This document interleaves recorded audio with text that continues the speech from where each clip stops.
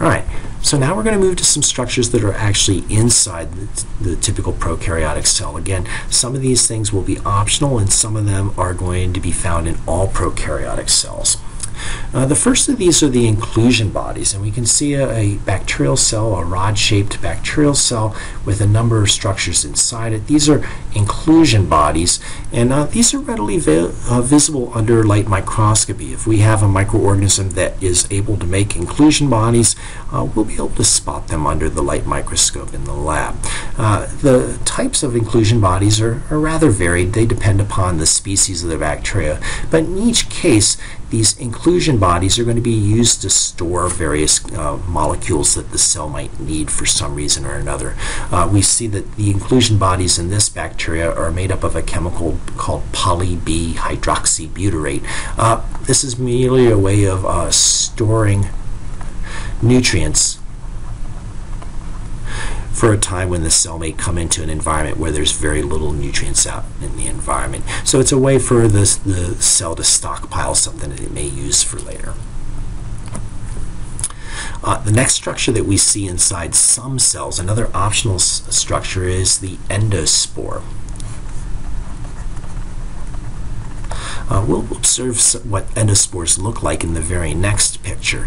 Uh, we recall from Biology 1 that, uh, that one of the properties that all cells have is the process of reproduction, where a cell gets larger over time and at some point it may divide in two and reproduce and two daughter cells are produced. In the case of a eukaryotic cell we refer to this process of cellular division uh, at, with the terminology mitosis. Bacteria prokaryotes do not undergo the process of mitosis that we learned about in biology 1.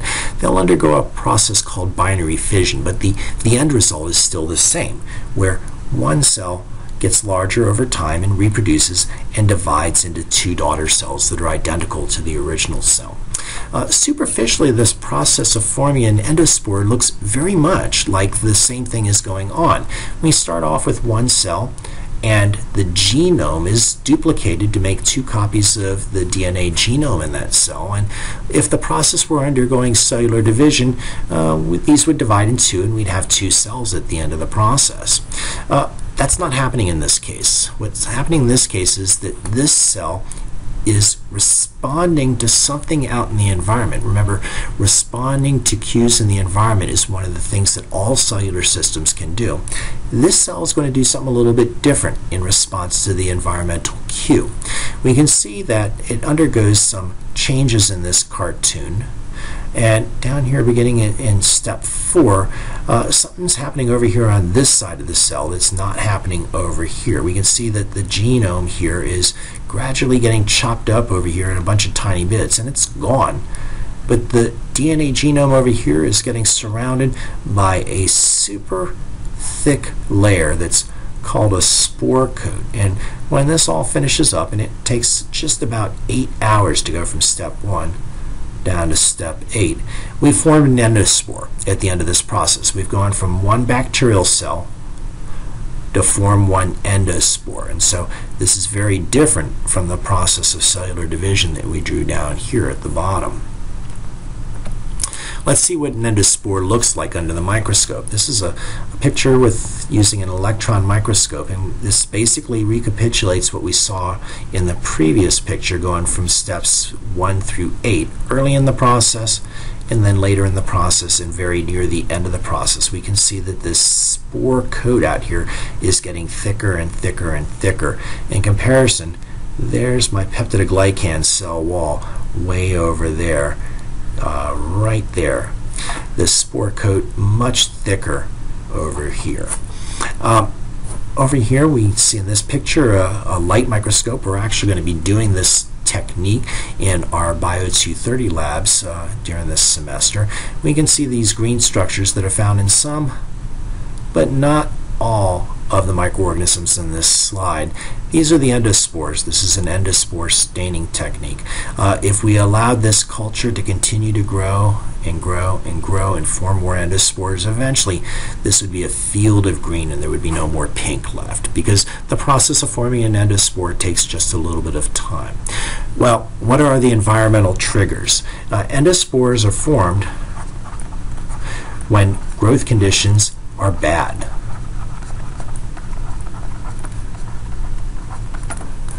So it's a mechanism for the cells in this population to be able to survive things when environmental growth conditions are poor. Perhaps nutrients are running out, there's no more nutrition, perhaps it's getting too warm, uh, perhaps it's getting extremely dry. All of these things can be triggers that will form endospores. And what happens is this incredibly tough endospore that's formed here at the end then just waits out until growth conditions become good again. When conditions are good, the endospores germinate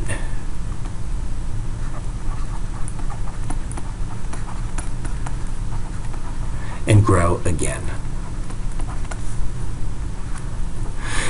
And scientists have been able to successfully isolate endospores from uh, biological materials where they've been endospores for literally centuries. Uh, they were organisms, bacteria, that were uh, caused to form endospores at some time in the past and they've waited out for hundreds of years until conditions are good again to allow those organisms to grow.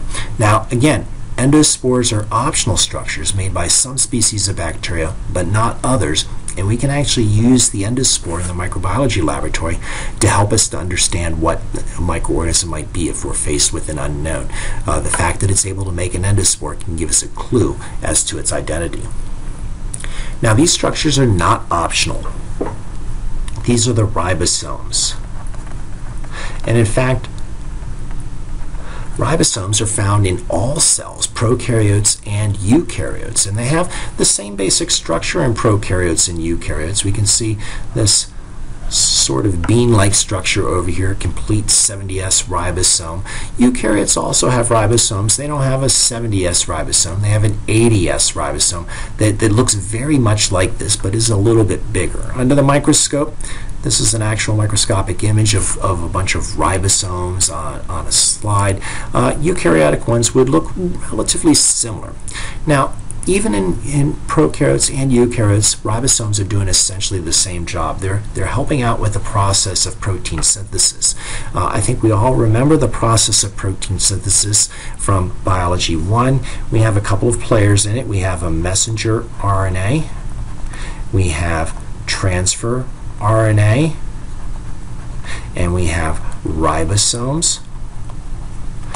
And these go to form new proteins through the process of translation.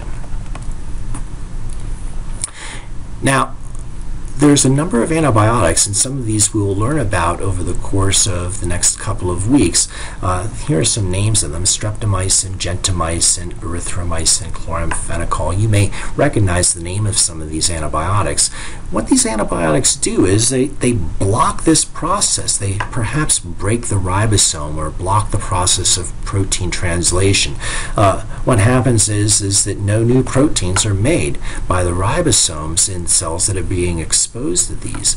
Uh, what we find is that these drugs will have effects on bacterial cells, but not on human cells. And this is a great thing because if you were to take one of these drugs, for instance, streptomycin, in order to treat an infection that you might have, uh, you wouldn't want the streptomycin to damage your cells. And the reason that streptomycin is going to be specific for attacking the ribosomes of the bacteria, but not your cells, is because, as we said, the ribosomes between eukaryotes, which are you know, human cells, and prokaryotes, bacteria, are going to be a little bit different. So these drugs are actually able to distinguish between the ribosomes of prokaryotes and eukaryotes. Now, we mentioned this other class of prokaryotic cells very early on in the chapter 3 discussion. We, we said that prokaryotic cells are composed of two big groups, the bacteria, which we're going to spend a lot of time on in this course, and the archaea, which look very, very similar under the microscope to, to bacteria. And in fact, they have many of the same structures, but many of these structures that we find, the cell wall, the capsule, uh, although they look very similar under the microscope, when we examine how they are actually made, they're actually incredibly different. And it's this difference between them that really hints at the evolutionary distance between archaea and bacteria. It's a number that's on the order of billions of years. That although these organisms look incredibly similar to one another, uh, by appearance. Uh, in fact, they are genetically extremely different from one another, and archaea and bacteria are as different from each other as they are from us. Uh, here's an example of something that looks the same, but is, in the uh, molecular analysis is extremely different. And this is a structure called a hamus, which is found on the surface of many archaic cells. We can see these little hair-like structures, and, and they, they look like, to me, fimbriae. And in fact, these hamus or hami do much the same thing. They, they help to attach. We recall that fimbriae help a bacterial cell to attach, and the hamus also allows it to attach.